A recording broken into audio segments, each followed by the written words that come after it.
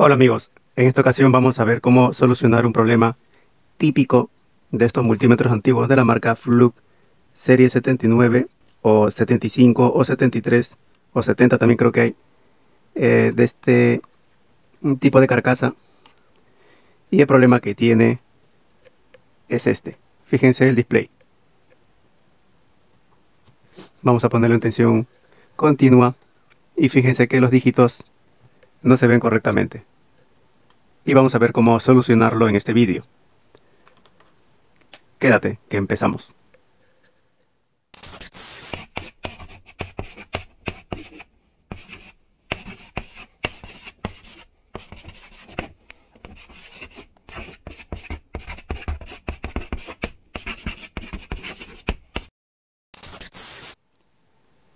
Hecho esto, vamos a apagarlo y vamos a proceder a desmontarlo. Para esto retiramos los cuatro tornillos de la parte posterior.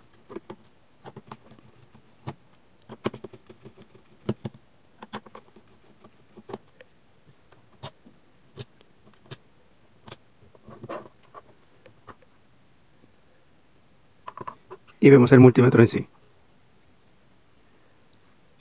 Eh, por si acaso no es el problema de la pila, ya que es nueva, así que vamos a retirarlo. Por seguridad obviamente hay que trabajar sin alimentación. Vamos a retirar eh, la placa base. Para esto tenemos que retirar este fusible de 15 amperios.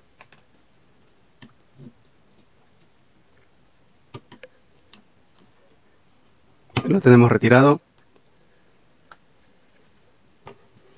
Y hecho esto vamos a retirar esto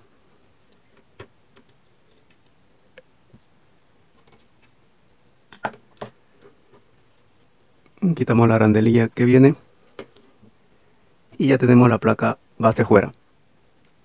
Aquí no hay nada como pueden ver. Y estando aquí eh, recordarles que eh, esto tiene posición. Vemos la parte posterior.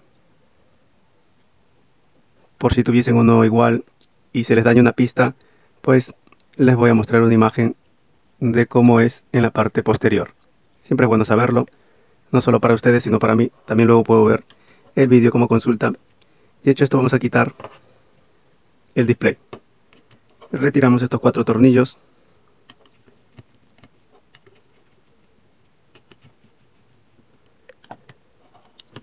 Y simplemente es quitar esto.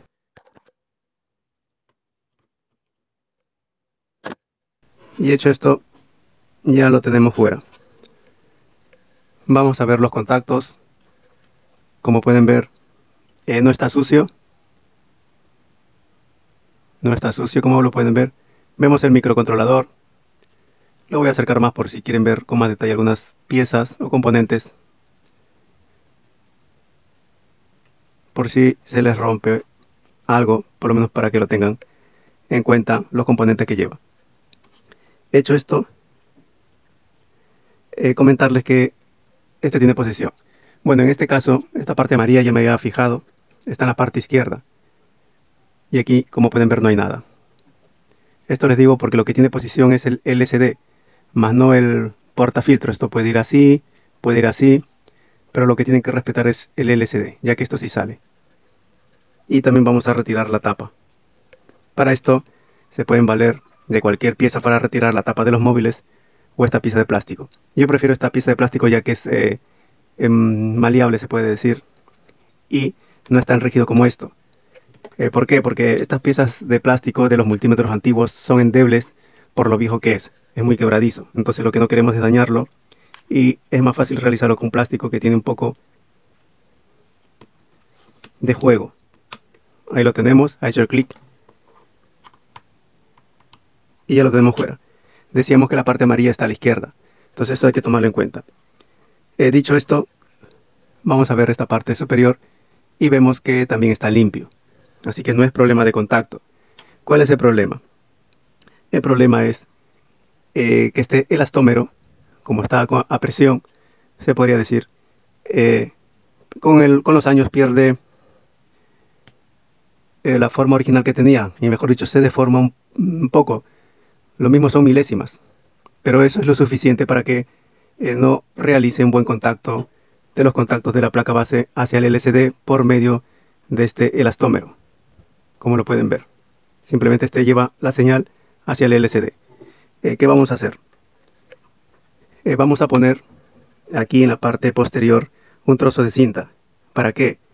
Para que realice mayor contacto o mayor ejerza mayor presión sobre el LCD y este a la vez presione el elastómero. Yo he utilizado esta cinta, que no es cinta aislante, pero en todo caso ustedes pueden utilizar una cinta aislante si no lo tuviesen. Lo único que voy a hacer, eh, voy a pegar este trozo aquí. Lo tengo que hacer con mucho detenimiento y aquí tiene que quedar bien. Así que esto no, no es importante que salga en el vídeo. Lo hago con paciencia y vuelvo una vez que esté pegado esta cinta aquí. Simplemente esto le corta un trozo y le corta en cuatro trozos y este es uno de ellos. Solo necesitamos uno en este lado y el otro en el otro lado. Eh, ya que tampoco si lo ponemos más, la tapa no va a entrar y corremos el riesgo de romper eh, estas pestañas de aquí, ya sea esta hembra o el macho de aquí. Y es lo que no queremos. Eh, hago un corto, corte perdón de vídeo y vuelvo.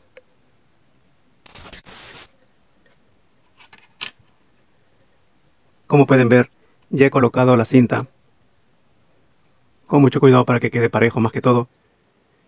Y vamos a normalizarlo. Recuerden que este doblez queda en la parte inferior.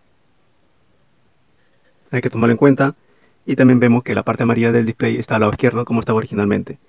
Eh, traten de no tocar esto y si lo tocan pues traten de limpiarlo antes de colocar esto.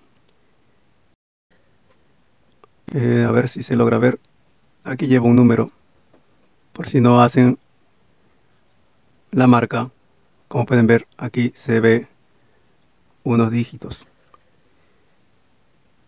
LS429. Más que todo, eso tiene que quedar en la parte superior. Solo les comento por eso. Y por ende, esta parte amarilla quedará a la izquierda. Dicho esto, vamos a normalizar esta parte. Ponemos sobre la mesa. Y ahora va a realizar mayor presión porque aquí tiene como un suplemento. Vamos a centrarlo bien. Y hecho esto,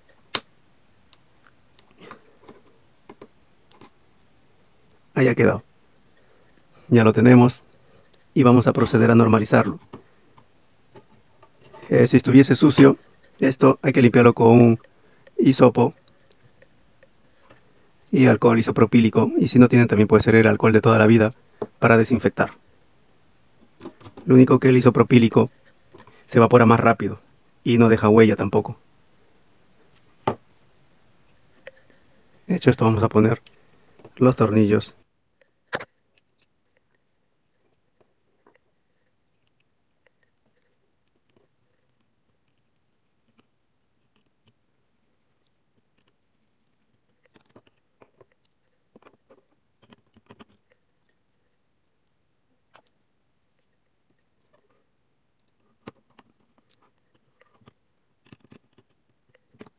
De acuerdo, ya está montado. El fusible no lo voy a poner ya que esto no influye en nada. Para su funcionamiento simplemente este es el fusible eh, de la magnitud de amperio. Entonces vamos a poner la pila. Ponemos esto y vamos a probarlo. Como pueden ver lo tenemos solucionado. Pueden ver que ahora funciona a la perfección.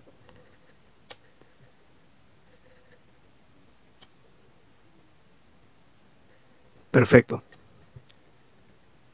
Si no hacen eh, lo que les he comentado, lo que tienen que comprar es el elastómero. Pero como pueden ver, no, no hace falta comprarlo, ya que con el método que les he explicado, pueden dejar funcionando correctamente el multímetro. Lo único que nos queda es colocar los tornillos de la parte posterior. Lo apagamos bueno, no lo voy a poner ya que me falta poner el fusible.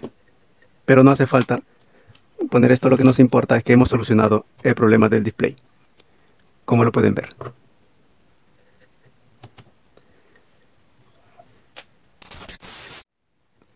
Bueno amigos, espero que este pequeño tutorial te haya sido útil. Si es así, no olvides de darle un like, suscribirte, compartirlo en tus redes sociales y conmigo será hasta la próxima.